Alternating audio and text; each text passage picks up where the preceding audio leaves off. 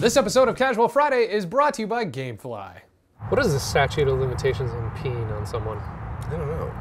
It probably goes state by state. Yeah.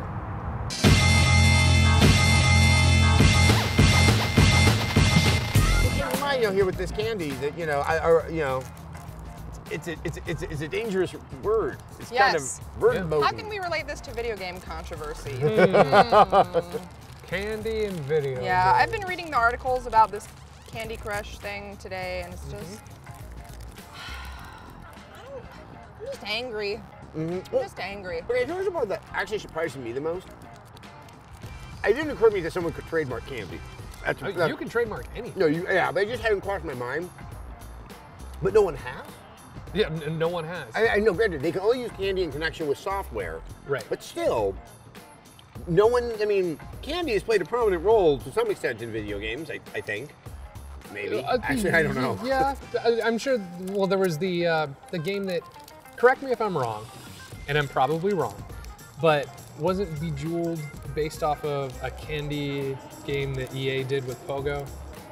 Sweet Sugar, like Sweet Tooth, something I'm like not that. sure. I actually don't don't know. know. this one. Or maybe maybe it was the other way Bejeweled around. is PopCap, which Yeah. is owned by EA, so. but they Well, weren't but- but- always. no, but not back then. They- Right. yeah, this Not is- back this- then. there was a Pogo game Hmm. uh, called Sweet Tooth that I think Bejeweled spun off, or it could have been the other way I around. find it funny because, you know, I would go to your show to find all this out. I, and I would go to and I would go to the internet to find that out. In that particular case, it wouldn't come off of my brain like most of it. But okay, so they have candy yes, and they have Saga. I know all their other games. I can't remember what they are. It's like Fish Saga and Pet Saga. Pet- Poop Saga. Do they have Poop Saga? like Probably, bubble, bubble wizard saga. Yeah. I don't know. Um, They don't so have that many games, though. I think they have quite a few. I looked at their Wikipedia page and I saw like only five or six that were Oh. still in existence, but maybe that's yeah, not maybe they had it, but yeah. So, uh, I mean, I, Saga. Yeah. Really, that was more shocking. Because saga actually means what it's intended for in the Banner saga. Yeah. It's like Norse. It's like an You know, Icelandic history. myth that does. Yeah, Yeah, it's like But but Saga's in so many games, and no one thought to get it. no. No, And that, may- so, so maybe most video game publishers are a little more beneficent than we actually give them credit for, except for King. have Yeah. they got, have they gone after Crush yet? Though? No. No. So we can still we can still have Well, yeah. games about having a crush on someone. Well, or somebody- crushing someone. Or or sodas. Or so, oh yeah, yeah. Oh maybe they have that. Crush, yeah. Maybe Crush has the they can't get Yeah, Crush but once because again, of the soda. but they only have these names as it pertains to software. Right. What about soft drinks? Who knows? We, we can see Um, quite a battle of the you titans here. I saw a tweet from Brian Provinciano today that was like, "What happens when Hasbro wants to make a Candyland uh, iPhone game Nope. and they can't?" Yeah. Which is even funnier because, as he pointed out, there's a character in Candyland called King Candy. You're right. This is he Yeah. king of the Candy He's the Land. king, king of the Candyland, Yeah. Yes. Yeah. Not like King Friday, No. Right. the King Candy. King Candy. Yeah. So, I think the part that kind of bums me out is the, the argument that they're using when they're like, whoa, whoa, we're just doing this to pre- prevent all the knockoffs. It's a very viable argument that kind of ignores the fact that, oh, so you're trying to make sure that someone does an actual knockoff of your game, you can go after them. But in the process of doing that, you can kind of take out everyone else who probably has to pay you some licensing fee or get, you know, or, or something. It's just, it, it's so, I don't know, is that bootstrapping? I don't know. I watched too much Law and Order. They always say you're bootstrapping. Yeah. I'm like, I don't have a boot. Yeah, I don't know. I was reading about it this morning, and it's like a lot of people see something like that and assume that any like Banner Saga is not going to be able to get released, which is not the case. Like, Well, Banner Saga Right. 2, they want to work on the Yeah. sequel. Yeah. yeah, so you can still use the word candy in your game. Apparently, like when you when you register a trademark or when you file a trademark like that, it doesn't become registered for five years. Mm-hmm. And in that five years, they have to basically aggressively pursue anybody else Yep. who tries to infringe on it. And then after the five years, once it becomes registered, that's when they can actually sue people. Okay, so what they're trying to do is they're trying to protect Candy Crush from Candy Crush knockoff games. As if candy is the you know most important aspect of Candy Yeah. Crush. As if Candy Yeah, Crush course, wasn't already a knockoff of Bejeweled. Yeah. Well, but, but, it's, but it's also it's like someone could just call it Poop Crush. Yeah. And, and, and it plays exactly the same, except it's probably of a, of, a, of a browner color. And like, I mean, I'm gonna make uh, Poop Squash Story as, as my, as my game. Poop Squash Chronicles. Yeah. I'm, I'm just gonna do Poop Saga. What?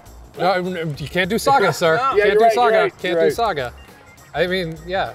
Poop Squash Story is, is what happens to me every morning. Well, so somebody, there's a candy jam, jam now. Have you heard of this? Candy Jam? Somebody ma- is Mm. making a game jam where you can only make games that have candy in the title or saga Oh. or apple. I thought you were talking about things. actual Candy Jam. No, that, would be- spread on something toast. that's spreadable that's really bad for you. that will probably be one of the games in the candy jams if there are smart enough people there. I want to go to this candy jam. The- the- yeah, I mean, it's you know, this is kind of this this falls within the realm of all the stuff that's happening with the patent trolling, Mm-hmm. and it's like you know these these laws were in place to facilitate innovation and allow you know it- they've just been turned on their ear, and it's Yeah. really, really, really sad. Yeah. It really is. And like I told you when we were coming over here, the king of that, at least in the entertainment world, was Gene Simmons, who trademarked OJ. Like you cannot say OJ We're referring to orange juice? when juice. referring to orange juice because he looked at it and figured out that no one had trademarked OJ yet. You know, happy birthday. You know, Yeah. someone, someone owns the rights. Someone owns the right that, and you can't sing it on, Yeah. on camera without paying royalties. That's Yeah. ridiculous. that's good lord, that's ridiculous. I wish I was that smart. I need to figure out something that I can Well, trademark. I, I guess the sad thing about the happy birthday one is that someone sat down and really thought through that song. That really isn't a song that really says, "Oh my God, what a masterpiece of composition." Yeah. But also, that was someone's pain in the ass for like two weeks, walking around the house going, ah, "Oh, ha- happy birthday to who? To who? oh, who is this for? No, you. It's for you." But I can't personalize. Oh God. Yeah, yeah. I just you always hear those arguments from people who are like, well, they have to defend their copyright or otherwise like it completely negates the law. And it's like that's true, but also those laws are in place to prevent games from like copying other games in a similar fashion.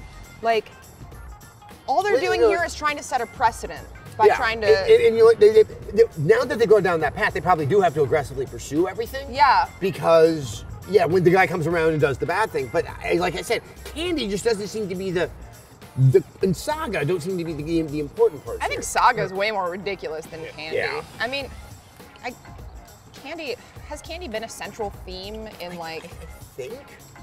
In in games? game in a game like Ca- well, like you said earlier, Candyland.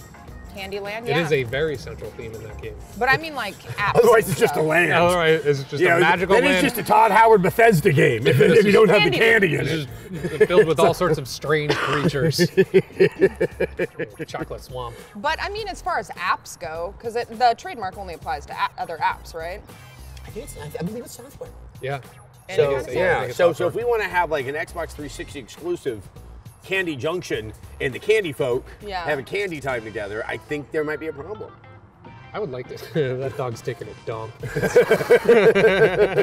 The best part about having candy at the park. This is. I'm so distracted by that dog. Yeah, get a good, get a good look at that. That's that's the new Star of Poop saga. Yeah.